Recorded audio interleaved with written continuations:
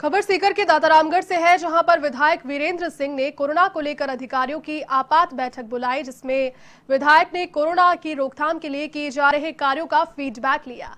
आपको बता दें कि विधायक ने एसडीएम को प्रवासियों को लेकर इस दौरान दिशा निर्देश दिए। तो वहीं पर ब्लॉक चिकित्सा अधिकारी डॉक्टर सुनील धायल को चिकित्सा सुविधा में विस्तार की बात भी उन्होंने कही।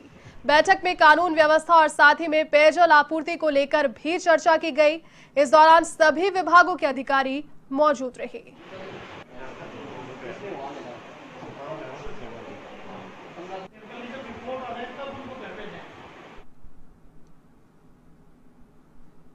जो प्रवासी आ रहे हैं और जो इसमें रिसेंटली पहले हमने मीटिंग बुलाई थी, उसमें था कि भोजन की जो हो रहा था कि खाना कम पड़ जाए, भोजन की व्यवस्था हो। वो किया था। उसमें तो हमने वो, और फुलफिल किया। हमारे अधिकारी, कर्मचारी, हमारे पंचायत के लोग, हमारे जो जनता जनता जनता थी, उसने सारा कुछ लोगों ने किया। इस समय जो एक बाहर से लोग आ रहे हैं ना, प्रवासी आ रहे हैं, कोई भी आ रहा हो, जो भी है, इसमें सेंसिटिव जा रहा है। सिक्सटी वन अभी तक हो गया, शायद आई थिंक सो, अभी कलेक्टर साहब से बात होगी, फ़ोन आया।